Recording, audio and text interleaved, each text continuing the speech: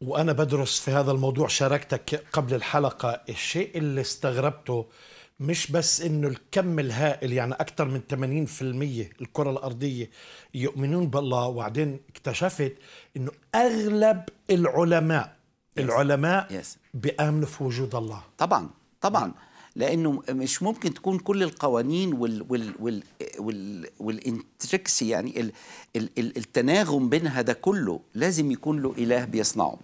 فإيه هو العلم؟ في عندنا نوعين من العلم. في العلم التشغيلي اللي هو اللي بنعمله في المعامل وتحت نفس الظروف نجد نفس النتائج. ده الإنسان الملحد بيعمله والإنسان المؤمن بيعمله بيطلعوا نفس النتائج. في علم تاني اسمه علم الأصول يعني إيه؟ أحداث تاريخية حصلت في الماضي ما أقدرش اكررها في الحاضر. فبالتالي تعتمد على نقطة البداية في التفكير. ده زي إيه؟ زي لو في حادثة مثلا واحد اتقتل. فيجي البوليس يشوف آه في سكينة في طلقة في سم جنبه في ويبتدي يكون صورة عن حدث في الماضي. محدش شافه. الحدث اللي في الماضي ده بيكون صورة وبعد كده يقول آه ده في الشخص الفلاني ده متهم بالقتل.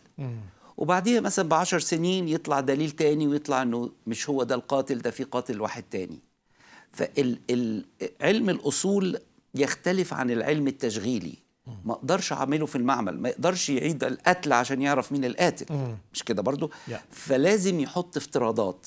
ودي النقطة اللي عليها الخلاف ودي النقطة اللي عليها وال... والعلم يعني ال data بيتبنى كله على بعضه يعني. بالظبط وده العلم التشغيلي. yeah. كل ال data دي بتتبني على بعضيها وتدينا معلومات أكتر طول الوقت وده شيء جميل.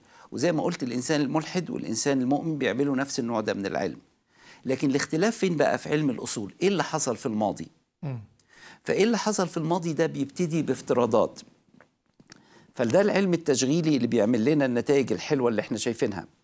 عايز أوريك واحد ملحد كبير قوي اسمه إرنست ماير.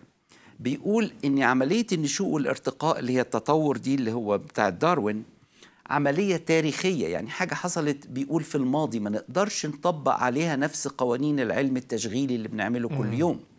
فبيقول التطور عملية تاريخية لا يمكن إثباتها بالحجج والأساليب نفسها التي توثق بها الظواهر الفيزيائية البحتة الحالية. م. تمام؟ فحتى الراجل الملحد ده بيقول إن العلوم اللي هي علوم الأصول دي أو العلوم التاريخية ما نقدرش نحطها في المعمل. دي نحطها بنقطة البداية بتاعتنا.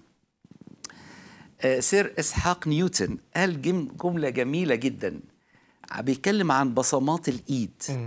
بيقول حتى لو غاب كل دليل آخر يكفي الإبهام ليقنعني بوجود الله.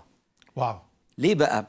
لأنه حتى كل واحد إحنا 8 بليون شخص حاليا عايشين. كل بصمة بتختلف. مختلفة. عشان كده بياخدوا بصمتنا لما ندخل في الجوازات والمطارات يعني. وكده لأن دي بتميزك حتى ال identical twins اللي هم التوأم المتماثل بالظبط ال fingerprints بتاعهم مختلفة. م.